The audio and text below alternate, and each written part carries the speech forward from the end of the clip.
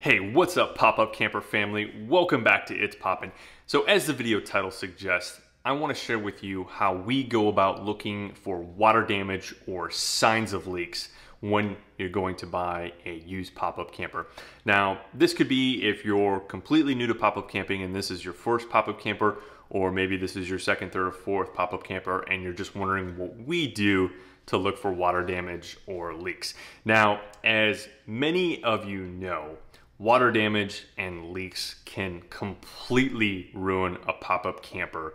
Um, it can be very costly in terms of your time if you're a DIYer, or even if you can find a professional to repair it for you, it can be very costly to repair. And that's whether we're talking about roof repair, side box repair, or subflooring. Any of it is just costly in both time and money. So what this video aims to do and what I hope this will um, enable you to do, or at least it will empower you to feel confident in your purchase of your pop-up camper going forward. Now, I also want to kind of manage some expectations with this video. We've looked at maybe a dozen pop-up campers over the last few years just for ourselves and to purchase.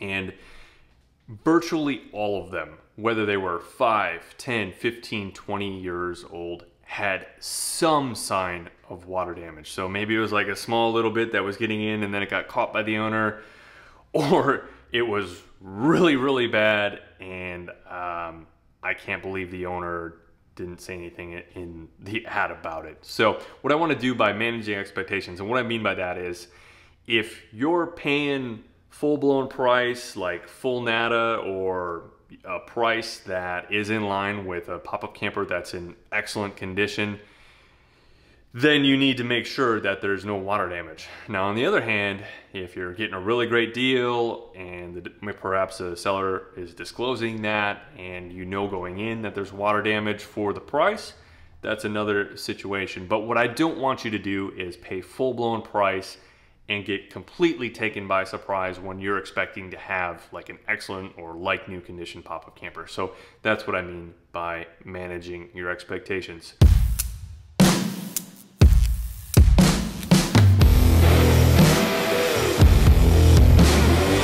All right guys, so the first place I always check this is the absolute first thing I always check when I walk up to a pop-up camper that I'm checking out for the first time. And that's gonna be the underside, so the subflooring of the corners of the floor. So in all seriousness, get absolutely under your pop-up camper and if you can see, we have this particle board right here that meets the frame. I always get up and under here and physically press on this plywood subfloor. And if you can't push up on it at all, that's 100% fantastic like this. This is rock solid, and that means there's been no water um, coming in from above. On the other hand, and this is that corner of our front storage box that definitely had some water damage. However, I did repair this with some um, epoxy. This was very, very, well, I shouldn't say very soft, but pretty darn soft to the point where definitely there was water getting into the bottom of the floor here and causing some water damage. Now, unfortunately, I can't show you how squishy it was before, but rest assured, if you can push your finger into that wood at all, just just by doing this, that definitely means there's some water damage. So like I said, that is the absolute first spot I check. Those four corners will tell you, and that's probably 90% of the time if there's been water damage. It never fails that there might be a bad seal on the box corner or even at the top of the box. Commonly there's some sort of plastic or metal cap that might become compromised. Water gets in there, comes all the way down the side wall, and then of course uh, ends up um, being sucked into that subfloor. So the reason I recommend that you check the four corners of the subflooring first is because of course you can check that whether or not the pop-up camper is popped up or if it's down. Now, if the seller gives you a choice, you know, hey, hey, would you like to see it up or down when you first get here? I always recommend coming to see it with it popped completely down. So the reason I prefer to inspect a pop-up camper closed up is of course because then you can see the roof right away. If it's uh, popped up, that might be the last thing you inspect and unfortunately you've probably then wasted a lot more time checking everything else out that you need to. But if the roof is down and you're able to see it, of course, it's a lot easier to check for water damage in the roof, or at least the exterior of the roof. So first things first, check out the side panel of your entire roof. What that'll enable you to do is kind of, and actually you can kind of check it out at an angle and just keep an eye on how, you know, I guess even the that aluminum or whatever it's made out of side panel of the roof is. And for example, we have a little bit of water damage in this board that supports the corner of the roof right here.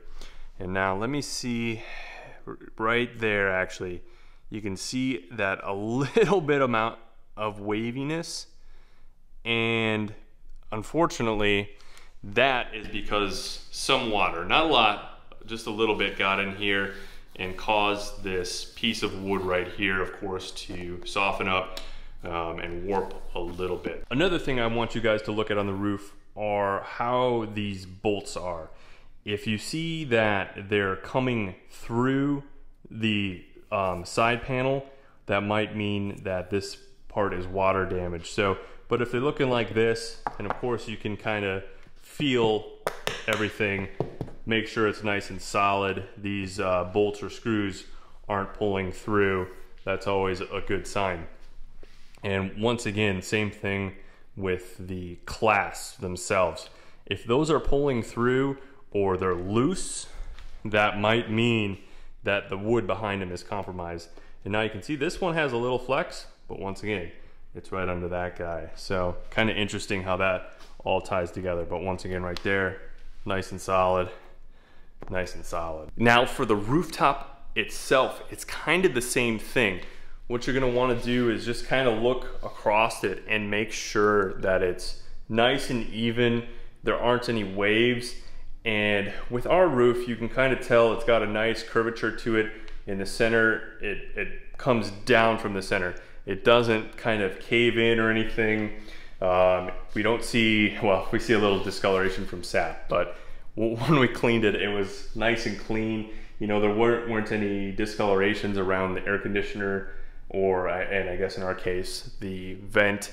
And that means, of course, water isn't like pooling somewhere where it could possibly get in and um, cause some water damage. So if your roof has any water damage or leaks, it's gonna essentially be evident and it almost looked like it kind of delaminated. Now this is, ours is a fiberglass roof and under the fiberglass is just maybe some one inch um, styrofoam insulation. So if water gets in there, and I think they just use some sort of adhesive to adhere the fiberglass to the um, foam insulation. If you see some delamination between that or that waves like I was saying before, that might mean that there was some water getting in. And of course, commonly it's gonna be around your air conditioner seal, or if you have one, the um, roof vent fan. But also, as in our case, there was some water getting into this um, roof rack mount. So if there are roof racks that somehow mount through the roof itself, that's another possible uh, route for water to get in. So if the pop-up camper you're looking at doesn't have any water damage in those two spots, the subfloor right around the corners or on the roof, you're in pretty good shape so far. And so the next step, um, and what I recommend doing is actually raising the roof hmm, maybe two or three feet and do it yourself. That way you also get the feeling of how the roof raises, you know, is it binding or anything, but that's kind of the subject for a different video. And so what we'll do here is we'll just uh, raise up the roof a little bit and I'll show you the next spot to check. And so what we're gonna do here is we are going to check the inside of the roof area with the canvas or the vinyl not being taut. So under the roof here, as you can see, we of course have all of this just regular old wood. What I want you to do is actually go along the entirety of the interior of the roof. Check out this wood and make sure none of this is rotted out or discolored, anything like that, because that'll be a sure sign of a leak or water damage. And this is especially important in the areas, of course, where the top of the roof um, lifting post actually bolt in. So this right here is essentially what you're looking for. As you can tell, it hasn't rotted all the way through that board, but if it continued to leak and continued to get water in there, that could have made its, uh, made its way all the way down through this board and of course compromise the integrity of the entire uh, side board of the roof. Now this next area while you're still on the exterior of your pop-up uh, the pop-up you're looking to buy may or may not have one of these and that is of course the front storage box. Now there is a reason why a lot of the manufacturers that are still manufacturing pop-ups have gone away from these or perhaps are using like a roto molded front storage box that is a separate entity from the rest of the pop-up camper and that's because these things are notorious for leaking. So if the one you're looking at has one of these, they're a great feature to have in terms of storage uh, for a lot of those items you don't know where else to put but definitely check them for leaks. So for example, many of you know that we completely, um, I guess, redid this sidewall of our front storage box. Um, that meant, you know, redoing all the furring strips, the luan right here, and a lot of work went into um, renovating and repairing the front storage box. So all I implore you to do is get in here, check the corners of the flooring, make sure they're not soft, make sure they're not wet, make sure there's no water damage in here. But not only that, but also make sure you check up and under any areas that might also possibly have water getting in. The plastic above these is once again notorious for cracking and letting in water. So reach up in here, check for soft spots, make sure none of it is compromised by water. And to finish out the exterior inspection of the pop-up camper, just check these side walls our particular pop-up camper is made with an aluminum sidewall. And once again, as many of you know, we had some water damage that came in this front storage box and actually essentially ate through the interior and just totally compromised this really thin aluminum to the point where of course we had to repair it and patch it. So this was this was one thing that threw me for a loop when we bought this pop-up. I mean, I thought aluminum, right? It's it's um, you know rust proof. It's it's not going to um, be damaged by water, but I was wrong on that count. So I would just make sure and do a visual inspection of the exterior side walls of your pop-up camper, just so you aren't thrown it uh, by any loops. So as we work our way inside, the first thing I want you to check is the area where the door meets the floor, essentially. So that flooring right around where the door is. For whatever reason, that's an area that can suffer some water damage.